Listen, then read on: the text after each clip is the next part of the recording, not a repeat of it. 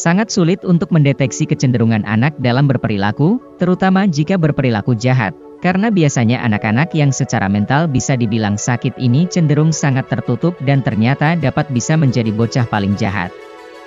Meskipun ada beberapa tanda yang dapat dibaca seperti perubahan nafsu makan, perubahan pola tidur, perubahan aktivitas bersosialisasi, aktivitas akademis, dan atau bermain, namun terkadang tanda-tanda ini luput dari perhatian orang tua dan orang sekitarnya.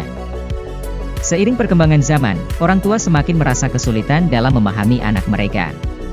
Pengaruh didikan orang tua yang salah, pergaulan, tayangan televisi, internet, dan lain-lain, rasanya terlalu kuat untuk mendukung perubahan mental anak-anak. Sebab faktor-faktor yang telah disebutkan, di zaman ini semakin marak kejahatan yang dilakukan oleh anak di bawah umur. Kadang-kadang sebagai orang tua miris melihat hal ini. Nah, pada video kali ini, Open the Door Official telah merangkum dari berbagai sumber tentang anak paling jahat dan berbahaya di dunia. Penasaran kan? Yuk simak videonya sampai selesai.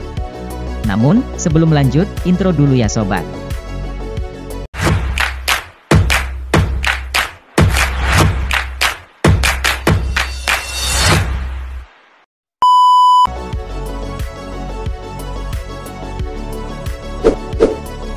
Lionel Tate Bocah 12 tahun ini mengaku meniru gerakan ketika dia memukul seorang gadis berusia 6 tahun sampai tidak bernyawa, pada tahun 1999. Lionel Tate mengaku juga kalau dia sudah mengunci kepala gadis itu sebelum membenturkannya ke meja. Meskipun Lionel Tate termasuk siswa yang cemerlang, Lionel Tate dikenal karena perilaku temperamentalnya dan sering mencuri, dan dia juga pernah diskors 15 kali di sekolahnya. Dia dijatuhi hukuman penjara seumur hidup pada tahun 2001 untuk pembunuhan tingkat pertama. Ketika kasusnya dikaji ulang pada tahun 2004 dia akhirnya dibebaskan. Para ahli yang mendampingi anak itu percaya bahwa uji kompetensi mental harus sudah atau tetap dilakukan sebelum sidang. Sekarang Lionel Tate masih dalam masa percobaan dan memakai monitor kaki-kaki. Graham Young Sejak kecil Graham telah menyenangi ilmu kimia, terutama pada komposisi racun dan pengaruhnya pada tubuh manusia. Jika anak-anak lain menyenangi tokoh kartun atau superhero, maka tokoh idola Graham adalah pembunuh berantai seperti Howley Chrippen dan William Palmer, atau tiran yang kejam seperti Adolf Hitler. Saat umur 13 tahun, pengetahuannya tentang kimia organik bahkan sudah seperti mahasiswa S2 dan semua itu ia dapatkan dari belajar autodidak di perpustakaan kota dengan pengetahuannya tentang racun. Mulai meracuni orang-orang yang dibenci. Meracuni orang-orang dimulai dari ibu tirinya lalu ke ayah, adik perempuan dan beberapa orang lainnya. Graham ditangkap lalu dibawa ke rumah sakit jiwa untuk rehabilitasi, kemudian pada umur 20 tahun ia dibebaskan namun kembali mengulang beberapa kali perbuatannya tersebut. Graham telah meracuni 70 orang dan kali ini dibawa ke penjara dengan waktu tahanan seumur hidup. Dan pada akhirnya, dirinya pun meninggal di dalam penjara.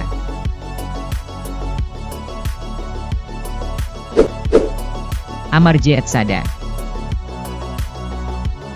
Bocah berusia 8 tahun asal India ini, telah menghilangkan nyawa orang lain. Bahkan yang mengejutkan adalah orang tua Amarjit Sada sebenarnya sudah mengetahui bahwa telah melakukan tindak kejahatan menghilangkan nyawa seseorang.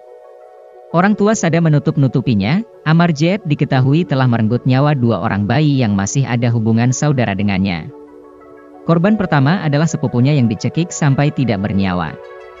Korban kedua juga sepupunya, bayi malang itu dipukul sampai meregang nyawa.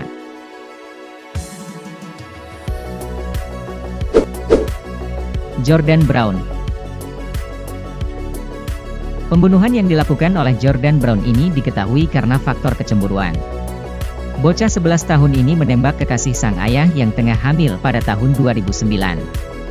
Korban ditembak tepat di bagian belakang kepalanya saat sedang terjadi percekcokan masalah di tempat tidur.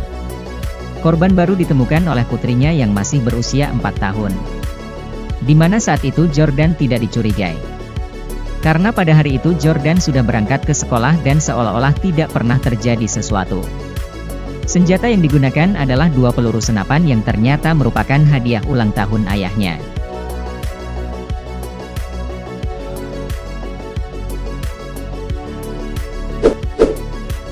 Carl Newton Mahan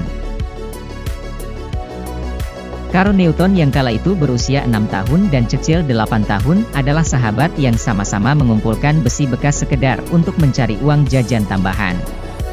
Dan suatu saat, Cecil sengaja mencuri barang bekas milik Carl Newton yang kemudian Carl mengetahui hal tersebut. Tanpa pikir panjang, Carl pun langsung memukul wajah Cecil dengan besi. Tidak cukup sampai di situ, bocah laki-laki berusia 6 tahun itu pulang ke rumah dan mengambil senapan milik ayahnya kemudian menembak Cecil sampai merenggang nyawa.